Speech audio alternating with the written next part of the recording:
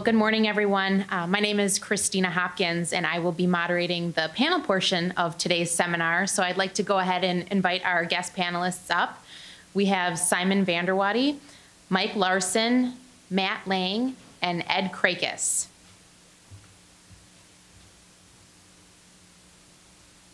So you came here to learn more about these wellness traits and how they're helping to move the needle forward in terms of real genetic progress. Um, these gentlemen um, sitting up here, they have real life firsthand experience with CLARIFIDE Plus, whether they are using them on their own dairies or they're consulting um, with their producer clients on how to analyze and use the data. Simon owns Vander Woude Dairy. Um, it's a 3,800 cow dairy in Merced, California. Mike is the general manager of Larson Acres, a 2,900 cow dairy in Evansville, Wisconsin. Matt is a business consultant with Compeer Financial, and Ed is a veterinarian and nutrition consultant with GPS Dairy Consulting LLC. They're eager to share their honest insights about CLARIFIDE Plus, um, their experience with that. Um, I'm going to kick things off with a few warm up questions, if you don't mind. Um, after that, feel free to raise your hand um, to ask a question, um, and I'll have Dorothy in the back with a microphone. Um, as we are um, capturing video, we want to be able to hear those great questions that you have. Uh, so the first um, question I have is for our producers. how did you decide to use CLARIFIDE Plus with the wellness traits versus just a, a standard genomic test with CLARIFIDE?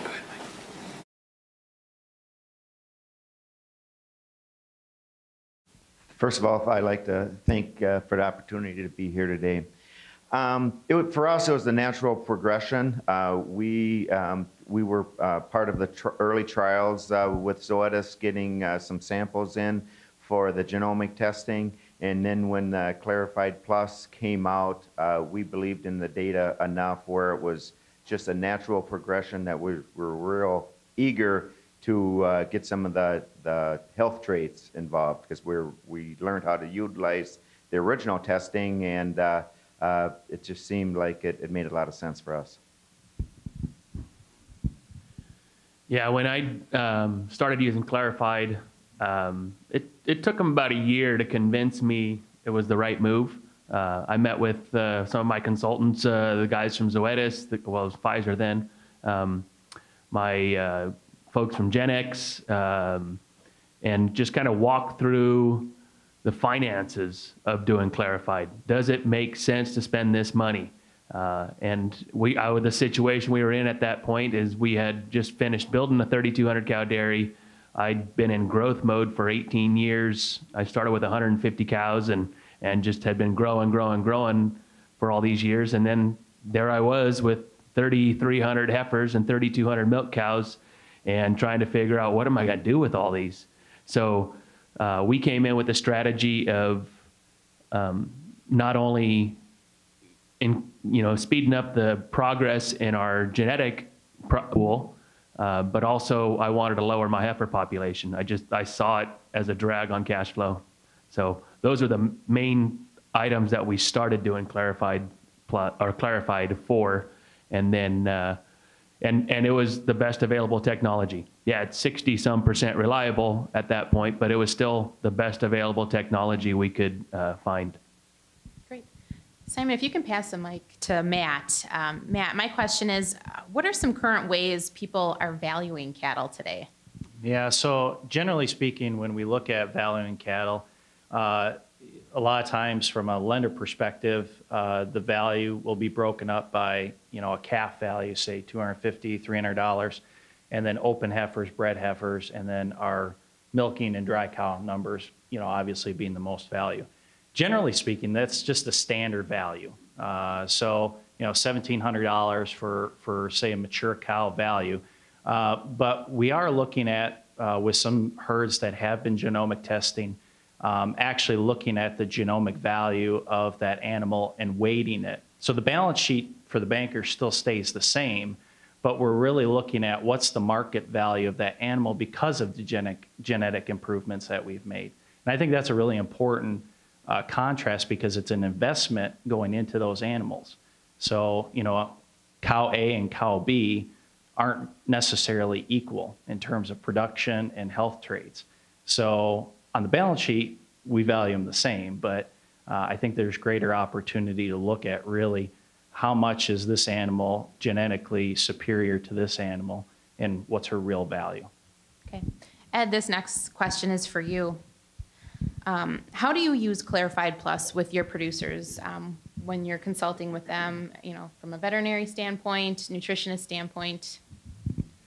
Well, the first thing that everybody seems to do the most with is deciding how to breed the animals. So I get involved in that end quite a bit, looking at breeding the lower end to maybe a beef animal.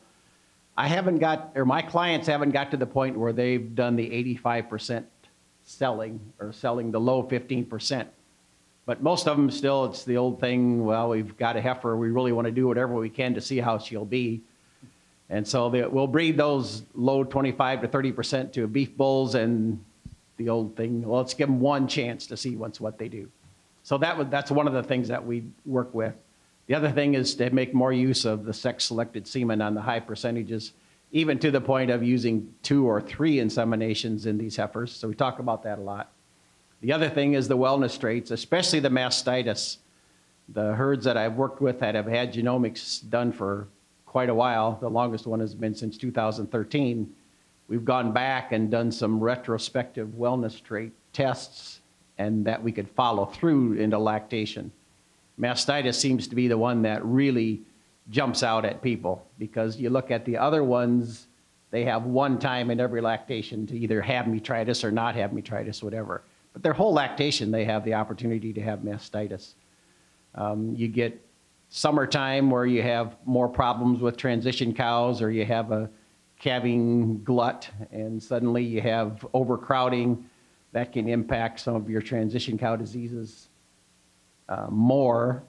And the mastitis one is really something that we concentrate on and can help a lot. Sure. Thank you. Let's hear some questions from the audience. Go ahead, Gary.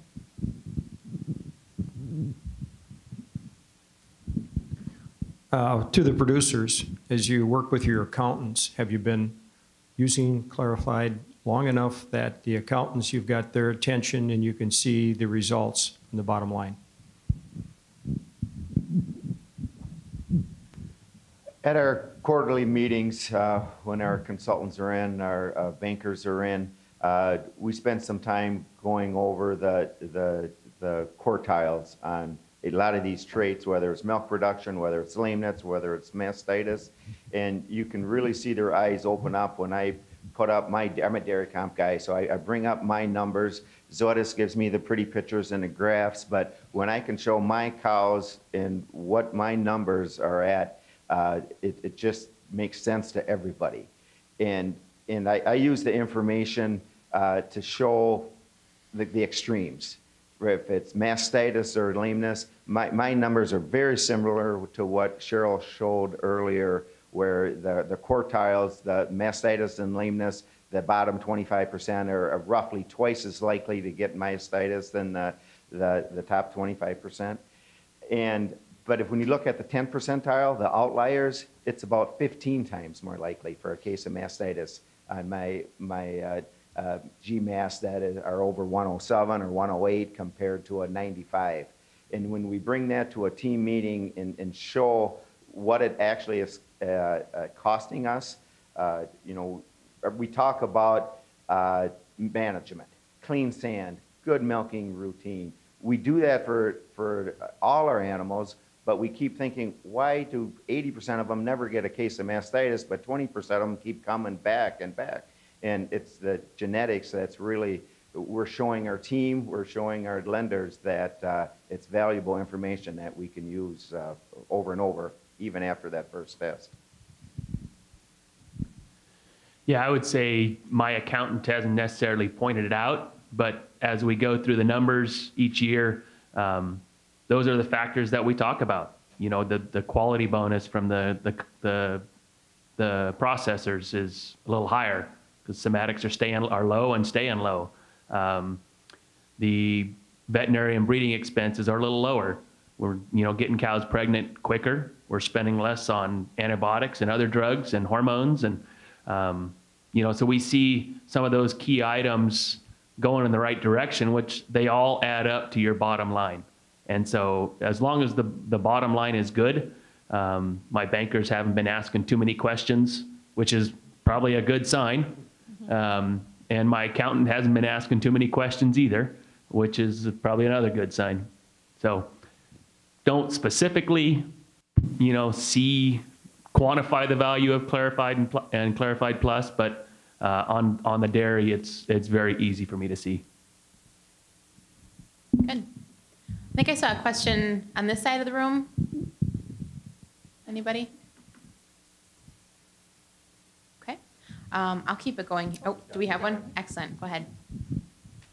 Um, question on how you've seen producers uh, implement the program. So uh, there's a lot of producers out there that would be a little bit more hesitant on uh, culling a portion of their heifer population uh, up front. So I guess how has either you guys as dairy producers or the consultants up there, how have you seen your dairies uh, implement the program? Has there been a progression where at first you maybe use the information for uh, like Ed was talking about with using sex semen and beef semen and not cull part of the herd, part of the heifer herd, and then as it progresses, uh, there's more confidence and you understand the value and you maybe start culling part of the heifer herd, or how has that progression gone? I guess.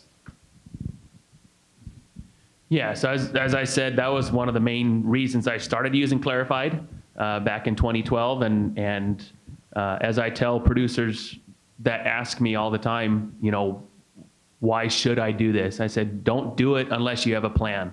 Don't sample 40, hef, you know, 40 springers that are coming in and, you know, and then start measuring them by their, their, their genomic data versus what they actually do. Um, because the environment is a huge part of, of that animal. You have to look at your, your averages, your, your net averages um, on these animals. So what we do is, is we don't make the heifers. If, you know, we don't, we don't cull the bottom end because we're not making the bottom end. I, I choose which animals I want my next heifer population to come from. And um, that's, that's how we have mitigated that, that part of it. So we, today we're breeding a little over 60% of our milking herd to Angus. They're, they're slated for Angus right out of the gate.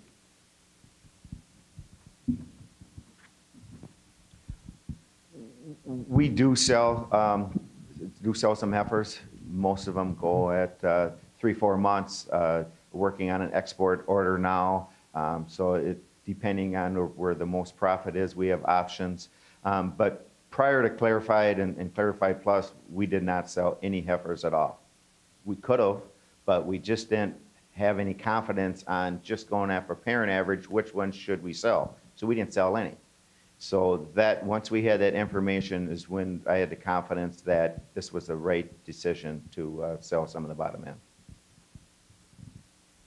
Yeah, I, I think what these guys said is, is kind of consistent across all the herds that, that we work with too. I think the first step that uh, most producers take when they start uh, testing is, is from an inventory standpoint, uh, trying to identify that bottom tier, whether it's 15%, whatever the percentage is that they want to uh, dial in, and whether they, they identify those animals and call them out, or we breed them back to something that beef-wise to capture more value off of them.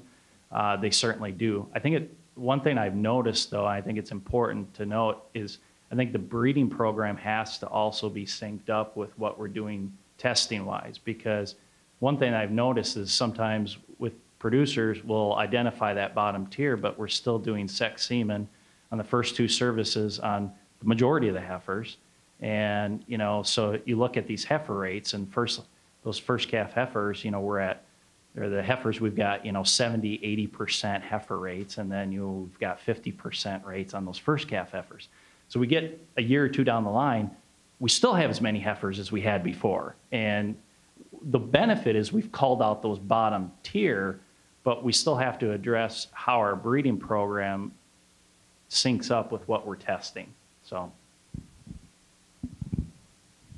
Well, One of the things that I found on herds that have not started yet and deciding to, to do a start, I had this on a few herds where gene- uh, the geneticist from Zoetis, you know, worked with David quite a bit, came in and did a genetic evaluation of the current herd based on the bulls they've been using, you know, the numbers that they can generate. And sort of like it gives a foundation, a starting point. So then going from there, making the decision to do genomic testing seemed to be a little bit more palatable once they sort of had a starting point on this genetic evaluation to go on from there. The other thing that I had on three herds that it, that had started, they did what Simon just said he wouldn't do, but it worked out for them. We did like 50 heifers that were due to calve within the next three or four months. So we pulled those late springers, got the results back, could follow them through their first six months after calving, and it was enough that even though all of Zoetis data was there, sometimes producers or myself included would like to see it, does it really work on my farm? I know that can be a real uh, catch-22 situation, but it worked good on these herds to be able to follow through immediately, see in six months you see results. That was helpful. Thank you. More questions? Yeah, a question for the panel as far as this beef goes. Um, When it comes to the utilization, it seems that it's increasing. Simon, you said you're breeding 60% of your cows to beef. Uh, Has anybody been able to establish a premium in the marketplace, maybe potentially direct? And then as part of that, what breed are you using? It seems that's a a very debatable issue out there. What breed of beef uh, are you finding premium in the marketplace with? Yeah, so we started with Angus five years ago. So we, and a little Angus Holstein cross. Uh, we do raise the calves up to 550 pounds. Um, that was kind of what we came up with as a, a starting point, and uh, we've stayed there. Um, when I started having truckloads ready to go, it takes about six months to get them to that 550 pounds. Um, when we got to the point that we started having calves to sell, uh, we priced them out for a while. I called a few guys and, and they'd give me a price over the phone and, and I'd keep an eye on what the auction yards were, were selling them for. And um, after about four or five truckloads, um, I think I had sold all but one of those to uh, uh, one company, and then they came in and said, "You know what? We're just going to pay you ten cents over what the auction yard's paying. Uh, we'll pick them up and we'll weigh on your scale. So it's all pre-shrink. Heifers and steers get the same price, and that's so we're we're over a Holstein steer. We're probably I'm guessing 15, 20 cents a pound over a Holstein steer, but don't hold me to that. I'm I'm I'm guessing. Other questions? And, uh, I'm sorry, and we did, we have checked with our buyer to see if they would rather have, you know, a Lim-Flex or, you know, we, we do do, uh, some Wagyu on our second location and, uh, have just a long-term contract on those. Um, but, uh, yeah, uh, and our buyer wants the Angus Holstein cross. So they've, they've, uh, looked at a lot of those carcasses. We've sold probably five to 6,000 calves already.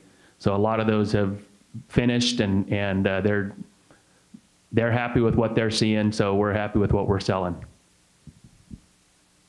Okay. Other questions out there? Um, Ed, I have one uh, for you. How important do you see the future um, being for selecting for healthier cows? Well, I think it's very important. So if we look at the attitude of a lot of consumers right now, and justifiably so, it's we don't want products from animals that have had an excessive amount of antibiotic usage. So if we can select healthier animals and sort of a de facto reduction in antibiotic usage because of less mastitis or less RPs or whatever, that's basically good for everybody.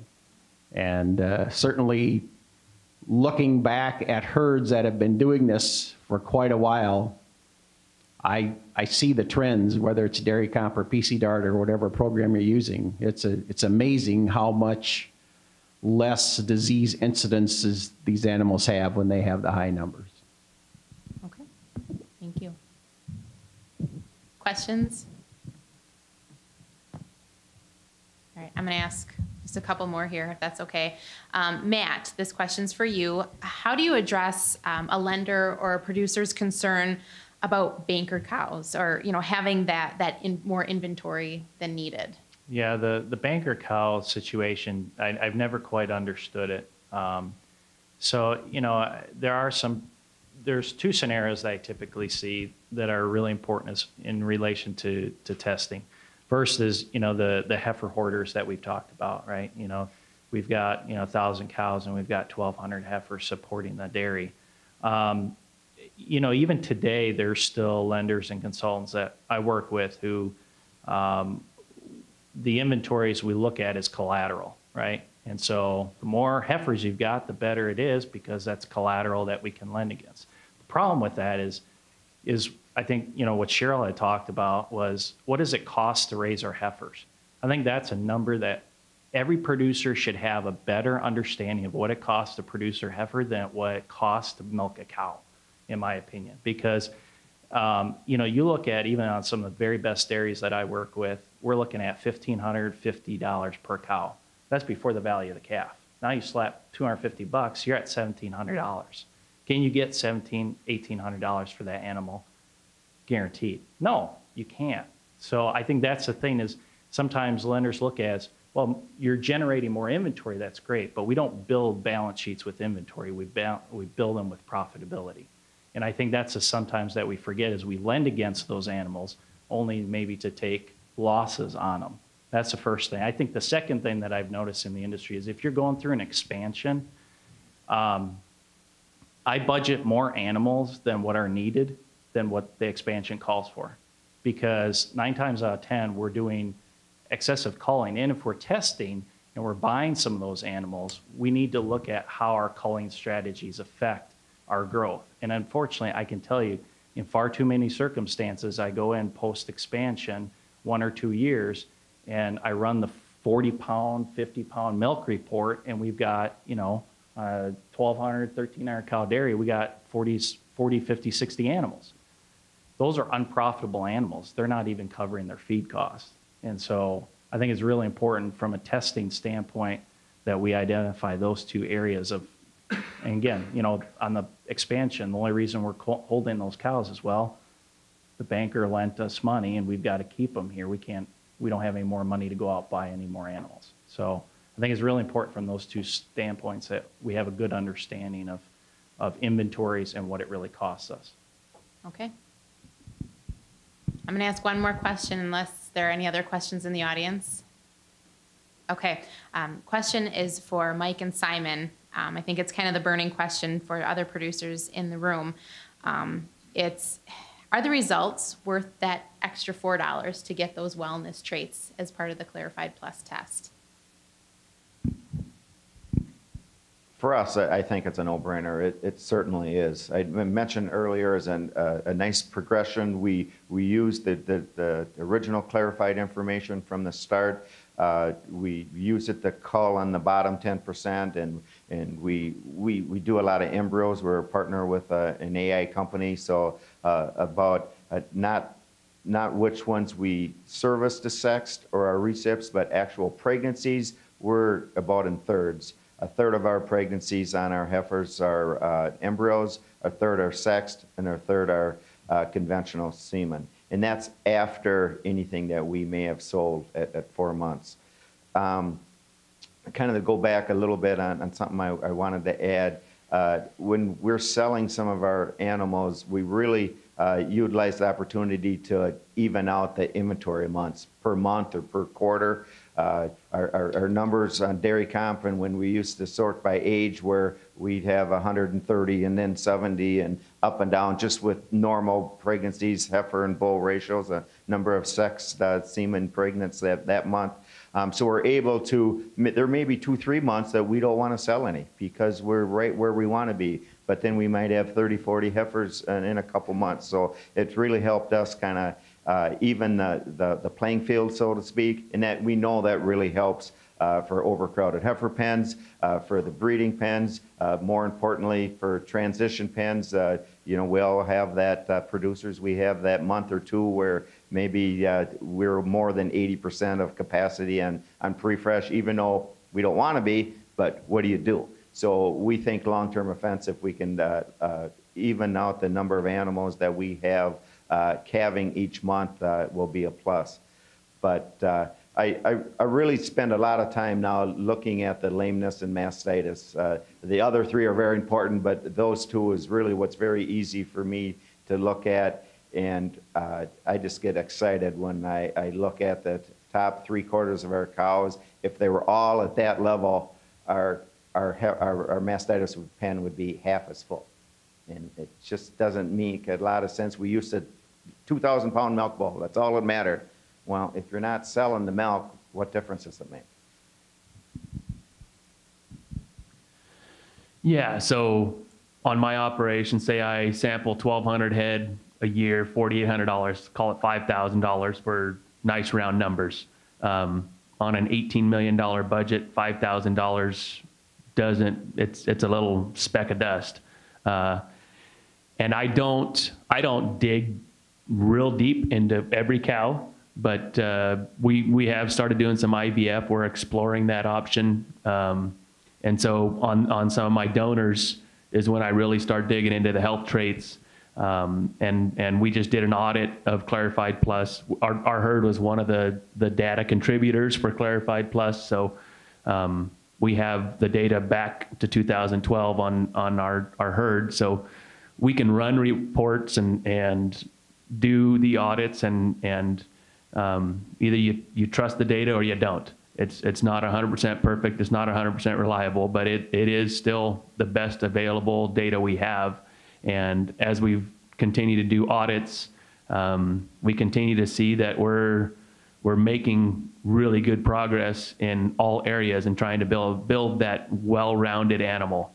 Uh, that animal that's not too big, that's healthy, that's going to stick around, that's going to make good high component milk. Um, we don't get awards for high milk production, awards for, you know, the highest preg rate, but we have a good preg rate. We have good milk production with really good components, and it's clean. We get good, good quality bonuses for that. Um, and I'm in the milk business. Uh, I'm not in the genetics business like like Mike. Um, so yeah, that that's the business we're in. We may, you know, we've explored the genetics business, but that's a pretty crowded market too. So uh, for me, it's the bottom line. It's how much how much milk am I selling every day, and what what does it cost me to make that milk, and how much is left over at the end of the year. So as long as I remain profitable and and nicely profitable, um, I'm going to keep relying on the technologies available to make the most profitable animals for my herd. Thank you. Oh, go ahead. I, I like one of the terms that Cheryl used, this indivisible cow. So my goal as a veterinarian nutritionist with my clients is to make as many cows in their herd invisible as possible. And I think that this is one way that will assist in that. So a cow comes in, she has no calving problems, she starts out lactating, she has a nice lactation curve, may not be record-setting milk production. She gets pregnant on her first and second service, she goes dry, and she repeats that over and over for three or four or five, six lactations. I think that's a really important thing that I see knowing these genetics better will help us to be uh, better at.